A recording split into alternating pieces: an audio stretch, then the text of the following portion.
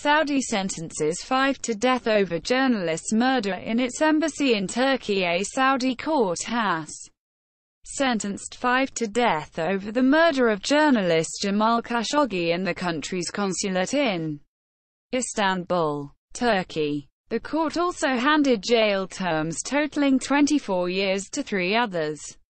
An investigation by UN Special Rapporteur Agnes Callamard had concluded that Khashoggi's death constituted an extrajudicial killing for which Saudi Arabia is responsible. 18 Indians kidnapped by pirates from Hong Kong flagged vessel released 18 Indians who were kidnapped by pirates from a Hong Kong flagged vessel near the Nigerian coast have been released. The High Commission of India in Nigeria has said, Thank all stakeholders involved in their safe release, the High Commission of India tweeted. The vessel was attacked during the evening hours of December 3. We're foreign prisoners in China. Help us.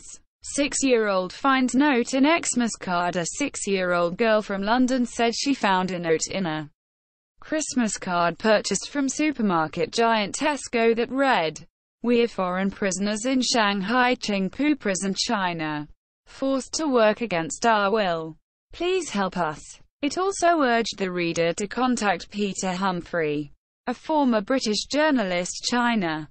However, said the allegation was a farce.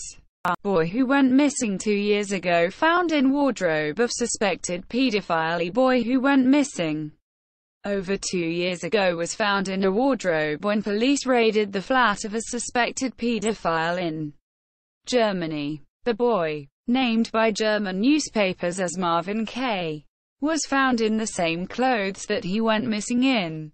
Police said that there were no signs that Marvin had been held by force.